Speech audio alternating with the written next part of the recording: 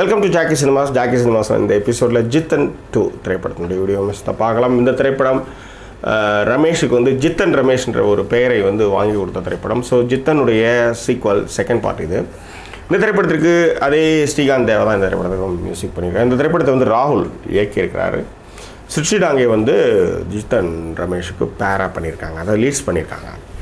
So Jitan திரைப்படத்துடைய கதை என்னன்னு பார்த்தலாம் கொடைக்கானலில் ஒரு பங்களா வந்து சித்தன் ரமேஷ் வாங்குறாரு.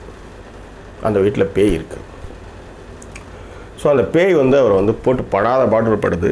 அந்த பேயை வந்து தெரித்திடலான்னு பார்க்குறப்ப அந்த பேய்க்கு ஒரு ஃப்ளா ஃப்ளாஷ்பேக் அந்த பேய் யாருன்னா அதான் சிருஷ்டிட்டாங்க அந்த பேய்க்கு ஒரு ஃப்ளாஷ்பேக் இருக்குது அந்த ஃப்ளாஷ்பேக்கில் ஒரு மனம் இறங்குறாரு. ஸோ இதனால் வந்து நிறைய பிரச்சனைகளை வந்து ஜித்தன் ரமேஷ் சந்திக்கிறார். ஸோ அந்த வீட்டை அவர் கடைசி வரையிலும் வித்தாரா? அந்த வீட்டை விட்டு சிருஷ்டிட்டாங்கன்ற பேய் போச்சா இல்லையா அப்படின்றது தான் இந்த ஜித்தன் டூ திரைப்படத்துடைய கதை. இந்த திரைப்படத்திற்கு கதை திரைக்கதை வசனம் எழுதியிருக்கிறார் வின்சன் செல்வா. இந்த திரைப்படத்தை வந்து ராகுல் வந்து இயக்கியிருக்கிறார். ஓகே ஜித்தன் ரமேஷ் ஆர்பி சௌத்ரியோட பையன் தம்பி வந்து ஜீவா. அவர் வந்து ஓரளவுக்கு தமிழ் சினிமாவில் ஒரு இடத்த பிடிச்சிட்டார். அவருக்குன்னு ஒரு ஸ்டார் வேல்யூ இருக்குது அவர் வந்து அவர் நிரூபிச்சிருக்கார். ஜீவா வந்து அவர் வந்து நிரூபிச்சிருக்கார். பட் ஜித்தன் ரமேஷ்க்கு இன்னமும் ஒரு பிரேக் இல்லாமல் வந்து அவர் வந்து தவிச்சிட்ருக்கிறார் பட் ரொம்ப நாளைக்கு அப்புறம் வந்து அவர் வந்து இந்த படம் அந்த ஜித்தன் படத்து மேலே இருந்த மதிப்பை வச்சுக்கிட்டு இவங்க ஜித்தன் டூன்னு எடுத்திருக்காங்க. பட் இந்த திரைப்படம் வந்து அந்த அளவுக்கு வந்து அவருக்கு கை கொடுக்கல அப்படின்னு தான் சொல்ல முடியும். ஏன்னா முதல் பாதி ஃபுல்லாகவே வந்து வெறும் சவுண்ட் எஃபெக்ட்ஸும் இதுவும் வச்சுட்டு ஓடுறாங்க. ஏன்னா கதைன்றது வலுவான ஒரு கதையாக இருந்திருந்தால் இந்த திரைப்படம் அடுத்த கட்டத்துக்கு போயிருக்கும் ஒன்று செகண்ட் பார்ட்டு பார்த்தீங்கன்னா செகண்ட் பார்ட்டில் வந்து சி- வராங்க. சிறுச்சி வராங்க அவங்க லவ்வர் வராங்க. அப்புறம் வந்து கருணாஸ் வராரு யோகி பாபு வராங்க. ஸோ இந்த விஷயம் இந்த செகண்ட் பார்ட்டில் வச்ச விஷயத்தை வந்து அந்த ஃபர்ஸ்ட் பார்ட்லேருந்தே இவங்க வந்து தொடங்கி இந்த கதையை வந்து தெளிவாக சொல்லியிருந்தாங்கன்னா இன்னும் ஓரளவுக்கு இந்த படம் வந்து சக்ஸஸ் ஆகிருக்கும்ன்றது என்னுடைய கணிப்பு. ஏன்னா முதல் பாதியில் வந்து அவங்க அப்பா இருக்கிறாரு. அவங்க அப்பாவுக்கு வந்து ஒரு த ஒரு முடி கூட நடக்கல அவ்வளோ இளமையாக இருக்கிறாரு ஜித்தன் ரமேஷோட அவங்க அப்பா. திடீர்னு பார்த்தா ஒரு பொண்ணு வருது என்ன எனக்கு ஃபோனே பண்ணலையா? அப்படின்னு சொல்லிட்டு அது மாதிரி போயிட்டே இருக்குது. ஸோ அவர் ஒரு காதலி இருக்குதுன்றதெல்லாம் எல்லாமே திடீர் திடீர்னு வந்துட்டு வந்துட்டு போகிறாங்க பட் எப்போ பார்த்தாலும் வீட்டு உள்ளே இருந்துட்டு ஓடுறாரு ஓடியாராரு ஓடுறாரு ஓடிடுறாரு இந்த மாதிரியான வேலைகள் மட்டுமே முதல் பாதியை நம்பியிருக்கிறார்கள் ஸோ அந்த இடத்துலலாம் அவங்க வந்து ஃபஸ்ட் பார்ட்டில் வந்து ஓரளவுக்காவது அவங்க வந்து கொஞ்சம் யோ யோசிச்சிருந்தாங்கன்னா இந்த படம் வந்து அடுத்த கட்டத்தை நோக்கி போயிருக்கும். ஸ்ரீகாந்த் தேவாவோட இசையில் வந்து ஒரு பாட்டு அது வந்து கொடைக்கானலில் வந்து ஒரு ரோட்டில் ஆடுற மாதிரி ஒரு song okay that's it second பார்ட்டில் சிச்சிடாங்க மாதிரி ஒரு ஆள் ஒரு கார்ஜியஸான ஒரு அழகான பேய்.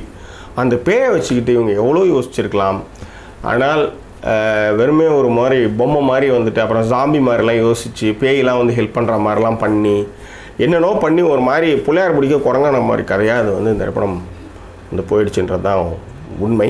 பட் கொஞ்சம் மெனக்கிட்டு இருந்தாங்கன்னா இவ்வளோ பெரிய ஆர்டிஸ்ட்டை வச்சுக்கிட்டு ஓரளவுக்கு சுவாரஸ்யமாக இவங்க கதையை சொல்லியிருந்தாங்கன்னா இன்னும் இந்த படம் வந்து சக்ஸஸ் ஆகிருக்கும் ஜித்தன் ரமேஷுக்கும் இது ஒரு பிரேக்கான ஒரு படமாக அமைந்திருக்கும். ஃபர்ஸ்ட் ஹாஃபில் வந்து ஒன்றுமே இல்லாமல் அப்படியே ட்ராகாக போயிட்டுருக்கிற ஒரு விஷயம். செகண்ட் ஹாஃபில் யோகி பாபு கருணாஸ்லாம் வந்த அப்புறம் கொஞ்சம் அந்த என்ன சொல்கிறது கொஞ்சம் சிரிக்க வைக்கிறாங்க. ஓரளவு ரிலாக்ஸ் ஆகிறாங்க.